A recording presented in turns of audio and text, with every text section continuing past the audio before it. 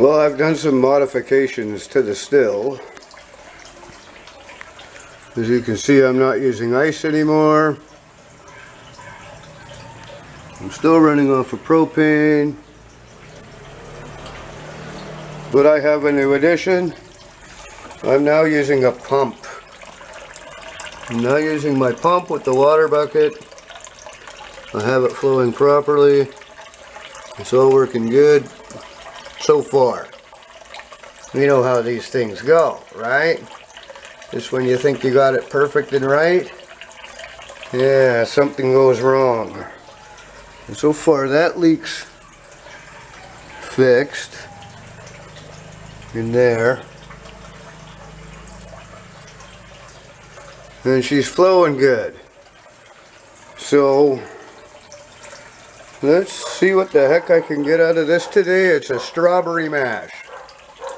Strawberries are generally the best. See if I can fill up one of these.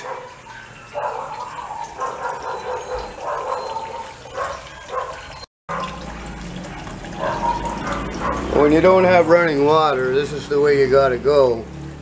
You gotta revert back to the old days, the way the old timers used to do it. Only they'd use a stream. I'm using bucket and a pump. I just have to monitor the, the temperature of this water here, which is nice and cold. So it should be all right to regulate itself temperature wise. Outside temperature here today, I believe is 30 degrees. Have a look see here. Yep. 30 degrees. So, I'm brewing some shine today. Yeah.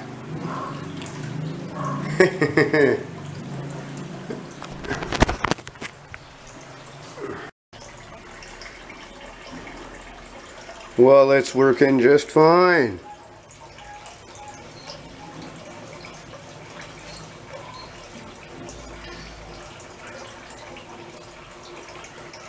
Soon as the heads are off,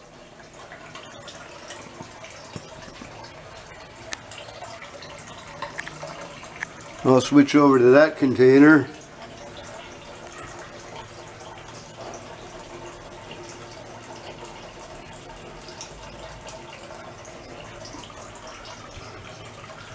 Working fine.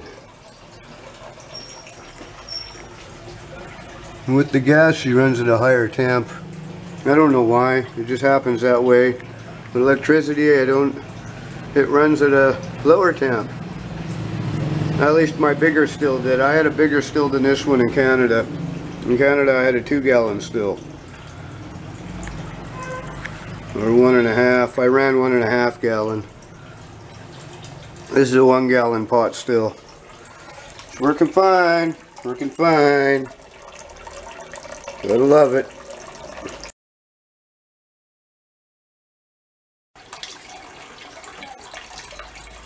Well, this is working just perfect. Just perfect. I ran into one problem, easy solution. I had to get some ice to cool down this water. It was starting to turn warm, especially in there. This is the second batch I'm running. Doing fine. Doing fine. Those are the heads and then I can run it off fine. Now the first run, quite pleased with, 375 milliliters. There we go.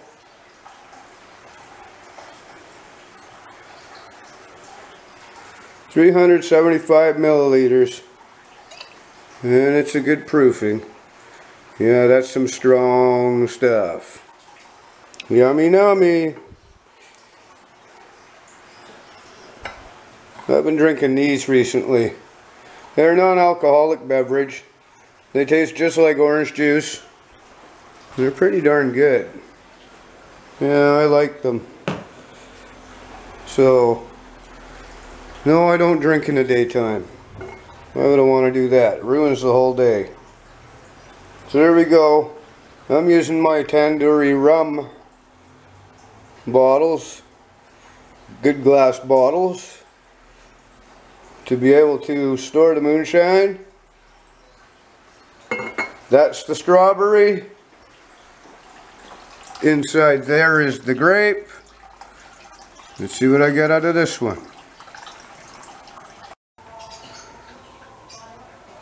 Well, this works great. I'm really pleased with it.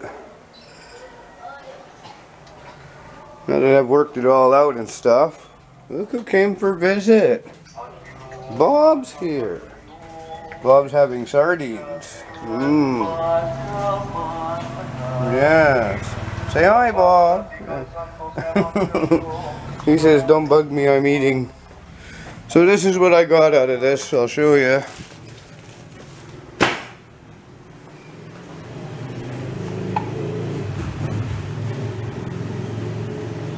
Two 375 milliliter bottles. That's the strawberry. That's the grape. And a little bit extra. So, that's enough to keep me going for a long time. This stuff is powerful. I won't drink all of that at once. Okay. I gotta break this down now and clean it up. And then, uh, I guess I can't start another batch until Sunday. There you go.